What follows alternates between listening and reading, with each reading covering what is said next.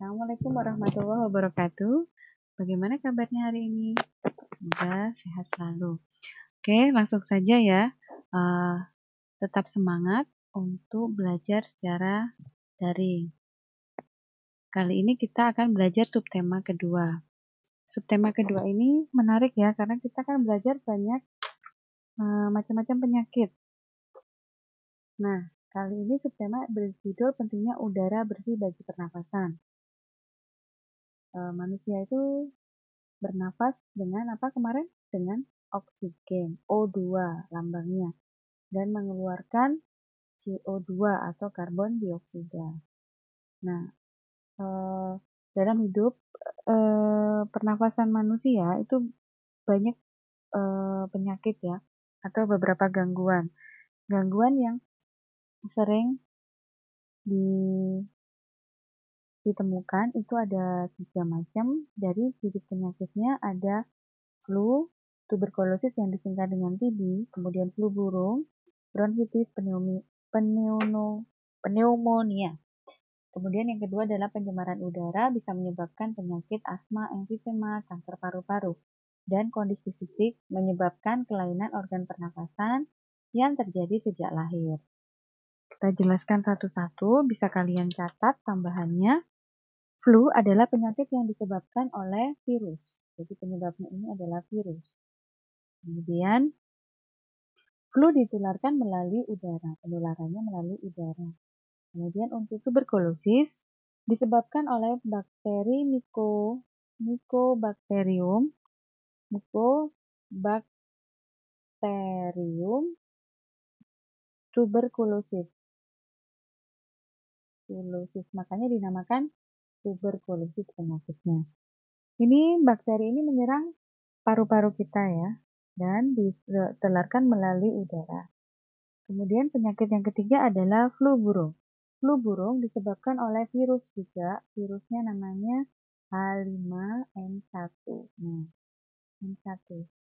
Virus H5N1 ini awalnya diserang, eh, maaf menyerang hewan unggas, namun mengalami perubahan genetik dan bisa menyerang manusia.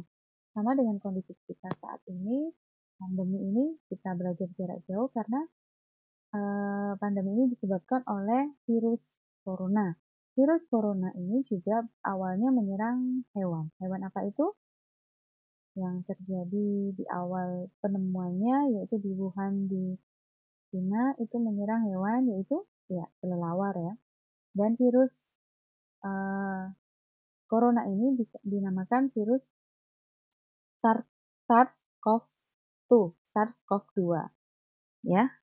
Kemudian yang bronkitis, bronkitis disebabkan oleh virus yang mengakibatkan peradangan pada radang pada bronkus. Pada bronkus. Kemudian pneumonia. Pneumonia disebabkan oleh bakteri Diplococcus, Diplococcus pneumonia. Pneumonia. Ya. Jadi nama penyakit itu biasanya disebabkan memang oleh uh, bakteri atau virusnya ya, seperti itu. Tuberkulosis, Mycobacterium tuberculosis penyebabnya pneumonia, uh, virusnya atau bakterinya Diplococcus pneumonia. Ya. Kemudian yang kedua adalah pencemaran udara, itu ada nama penyakit asma, emfisema, dan kanker paru-paru. Asma disebabkan oleh penyempitan saluran pernafasan. Jadi susah nafas ya, penyempitan. Kemudian uh, saluran pernafasan ya.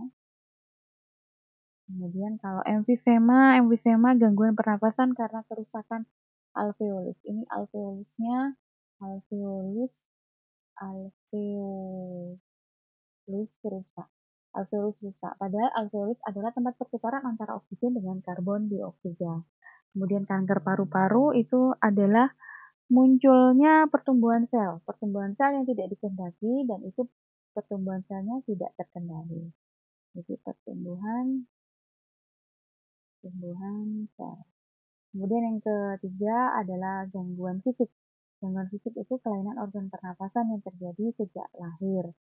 Jadi organ paru-paru seseorang itu biasanya tidak sempurna, maka dia perlu alat bantu. Nah, seperti ini. Makanya pada waktu eh, seorang ibu hamil itu maka suplemen, jadi kita berusaha agar uh, makanan yang dimakan oleh ibu tersebut itu makanan yang sehat ya. Jadi seperti itu menjaga agar kondisi bayi, calon bayi tadi di dalam tubuh uh, ibu tersebut uh, perkembangannya bagus dan sehat. Oke. Okay. Ya, ini yang bisa dijelaskan untuk awal IPA. Kita lanjut, masih berlanjut. Uh, sekarang uh, kita belajar tentang bahasa Indonesia. Di tema 2 ini, bahasa Indonesia itu menjelaskan tentang informasi, informasi berdasarkan teks.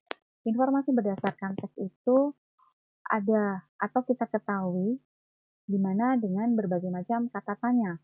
Ada kata tanya apa, di mana, kapan, siapa, mengapa, bagaimana, dan berapa. Apa menjelaskan mengenai suatu hal atau benda.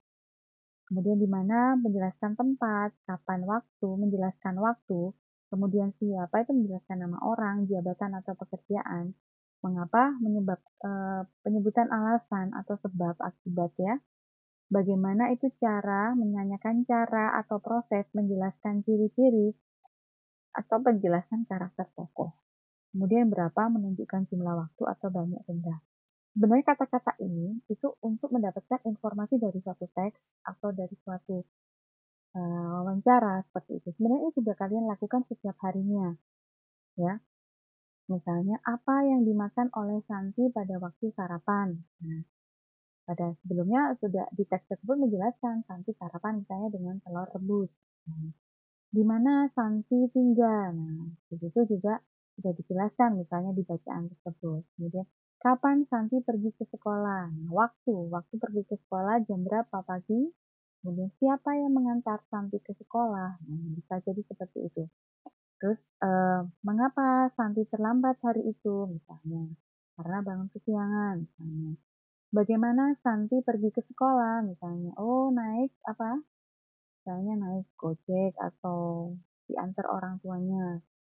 Kemudian e, berapa misalnya ditanyakan berapa pelajaran yang di e, yang dipelajari Santi hari ini. Nah, seperti itu. Sebenarnya semua pertanyaan ini se sehari-hari sudah kita lakukan ya untuk mengetahui informasi. Di mana Umi? Nah, uh, siapa itu yang telepon? Nah seperti itu. Banyak sekali. Itu untuk mendapatkan informasi. Jadi ini lebih mudah ya. Oke kita lanjutkan. Di sini ada contoh teks pernafasan ikan.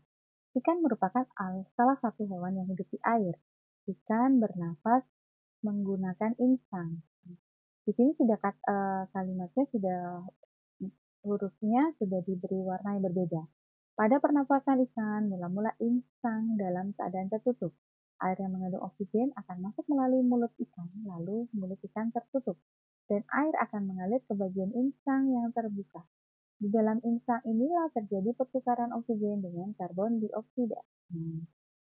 Informasi, ikan merupakan salah satu hewan yang hidup di air. Hmm. Jadi pertanyaannya apa, di mana? Di mana ikan hidup? Apa Hewan apakah yang hidup di air? Ikan. Seperti itu ya. Ikan bernafas menggunakan insang. Ikan bernafas menggunakan apa? Bagaimana ikan bernafas? Nah, kemudian, ketika mulut ikan tertutup dan air mengalir ke bagian insang yang terbuka, maka terjadilah pertukaran karbon dioksida. Nah, pertanyaan dengan apa bisa jadi begini. Apa yang terjadi saat insang, eh, maaf, saat mulut ikan tertutup dan air mengalir ke insang yang terbuka, maka terjadi pertukaran oksigen dan karbon dioksida. Di mana terjadi pertukaran karbon dioksida dan oksigen? Di insang jawabannya. Kapan terjadi pertukaran oksigen dan karbon dioksida? Saat apa? Saat mulut ikan tertutup dan air mengalir ke bagian insang yang terbuka seperti itu. Bagaimanakah proses pertukaran oksigen dan karbon dioksida? Jawabannya semuanya di sini. Jadi, informasi jawaban ini bisa didapatkan dengan berbagai macam pertanyaan yang ada di sini. Ya, nanti kalian coba ya. Coba kalian pelajari lagi. Oke, insya Allah lebih mudah ya dengan adanya contoh seperti ini. Kemudian kita lanjutkan lagi kepada pelajaran IPA. Tadi sudah dibahas tentang berbagai macam penyakit. Ada yang dari penyakit karena kondisi fisik, ada kan karena bibit penyakit, atau karena pencemaran udara. Asma tadi pencemaran udara. Nah, asma tadi penyempu, pen, maaf, penyumbatan saluran pernafasan yang disebabkan debu, udara dingin, alergi makanan, atau kelelahan. Gejalanya kita lebih detail di sini sesak, batuk, nafas dan uh, maaf batuk dan nafas terasa berat. Pengobatannya pemberian inhaler. Bisa. Atau dengan uh, apa ya uh, memberikan oksigen ya. Oksigen tambahan dari luar. Karena dia tidak bisa menghirup oksigennya oksigennya langsung disemprotkan. Kemudian flu. Flu gangguan pernafasan disebabkan oleh virus. Gejalanya biasanya sakit kepala, demam dulu, hidung tersumbat, ya. Kemudian ini sering kayak katanya sering flu. Nah, kondisi ini berarti kalian terserang virus. Nah, makanya kalau di luar rumah memakai masker itu penting ya. Jadi nggak hanya saat ini saja. Jadi menjaga agar udara yang kotor itu jangan sampai terhirup ya. Kemudian pengobatannya dengan minum obat sesuai resep dokter, kemudian mengkonsumsi makanan sehat dan bergizi ya, seperti itu. Kemudian ada lagi penyakit bronkitis. Bronkitis tadi infeksi atau peradangan saluran bronkus yang disebabkan virus juga. Bronkitis batuk berdahak, demam, dan sesak nafas. Nah, ini lebih parah lagi karena lebih dalam lagi uh, virusnya menyerang. Pengobatannya minum obat sesuai resep, istirahat cukup, mengkonsumsi makanan sehat dan bergizi. Tonsilitis. Tonsilitis peradangan yang terjadi pada amandel atau tonsil yang disebabkan virus dan bakteri. Membesarnya tonsil dan menimbulkan rasa sakit itu gejalanya. Pengobatannya dengan minum resep, e, minum obat sesuai resep, mengkonsumsi makanan dan minuman yang bersih. Kemudian pneumonia yaitu peradangan pada bronchiolus dan alveolus karena infeksi bakteri Streptococcus pneumonia, virus dan jamur. Bentuk batuk, maaf gejalanya batuk dengan daha, berdarah, sesak nafas, nyeri dada, dan demam tinggi. Pengobatannya minum obat yang sesuai resep dokter dan dilakukan secara teratur ya. Obat-obat seperti ini harus teratur ya. Minumnya tidak boleh lupa. Jadi kalian harus uh, apa ya?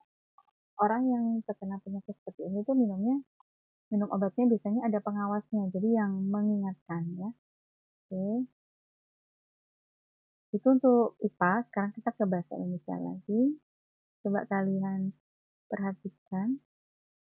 Nah, dari uh, paragraf berikut, bronkitis adalah penyakit yang peradangan pada bronkus, saluran mengalir ke udara dan paru-paru, disebabkan oleh virus, bakteri, misalnya asap rokok, bronkitis, atau asap rokok dan asap polusi kendaraan.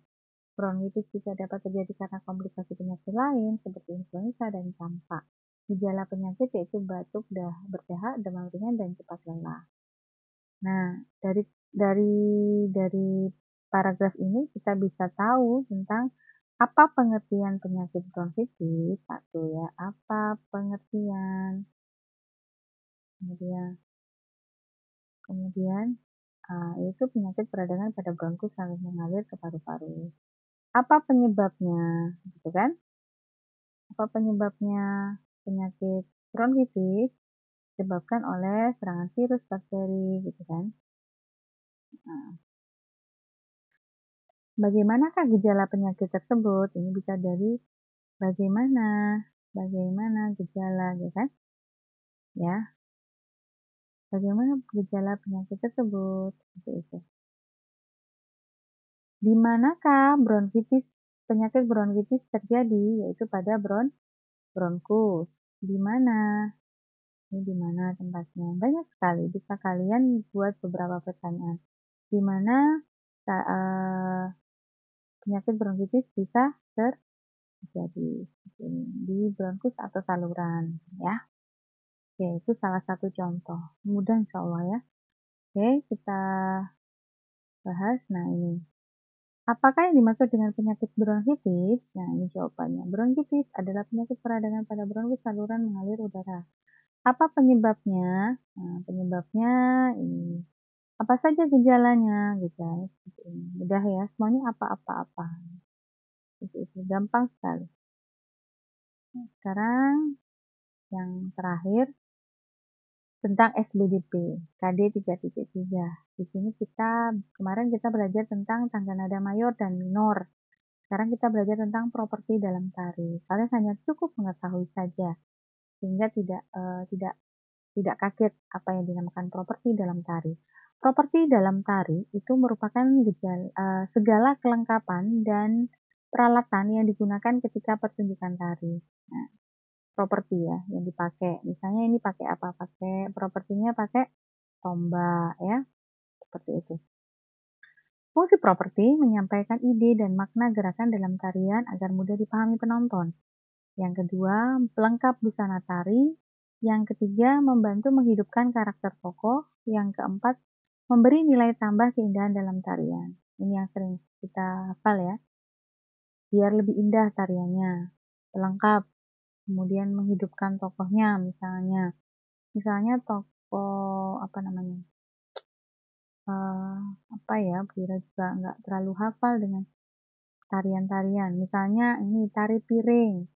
Nah, tari piring kalau orangnya nggak bawa piring, nggak lucu ya. Namanya tari piring, mana piringnya gitu kan ya biasanya tari piring ya bawa piring seperti itu ya. Kemudian eh, ide atau maksud dari tarian ini bisa dipahami. Ya misalnya tari piring tadi. Oh berarti ini memang menarikan tentang uh, piring. Ada piring di situ seperti itu contohnya.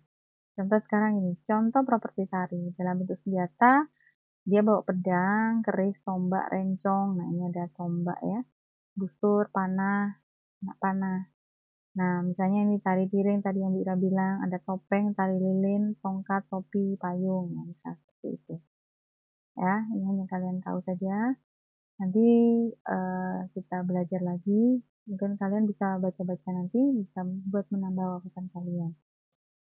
Jadi cukup ini dulu yang bisa Bu Ira sampaikan, kurang lebihnya mohon maaf. Semoga bermanfaat. Wassalamualaikum warahmatullahi wabarakatuh.